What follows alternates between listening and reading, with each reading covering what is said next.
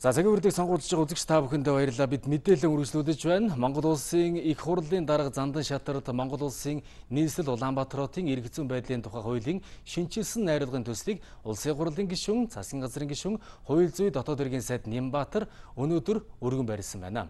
Монгол улсын үндсэн хуульд оруулсан нэмэлт өөрчлөлт болоод Монгол улсын засаг захиргаа нутаг дэвсгэрийн нэгж төвний удирдлагын тухай хуульд нийцүүлэх, хуулийн төслийг боловсруулах хэрэгцээ шаардлагын талаарх судалгааны санал зөвлөмжөд үндэслэн Монгол улсын нийслэл Улаанбаатар хотын эргэцүүн байдлын тухай хуулийн шинжилсэн найруулгын төслийг боловсруулсан байна.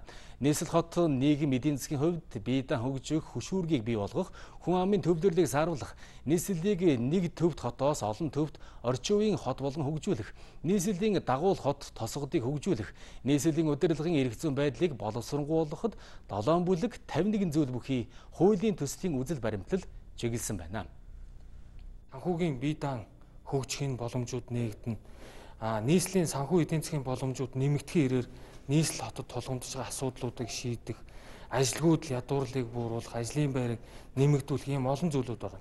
Тэгэхээр бид нар зарим нэр төрлийн бараа бүтээгдэхүүнийг одоо дэмжих, үйлдвэрлэлийг дэмжих зорилготой ийм бүсүүдийг хүртэл бий болгох, инновацийн төвүүдийг бий болгох, за цаашлаад IT суурилсан үйлдвэрлэлийг бий болгох ийм одоо эдийн засгийн хөшүүргүүдийг хүртэл энэ хуулийн төслөөрөө дурдж энэ зохицуултыг хийхийг зорж ажиллаж байгаа.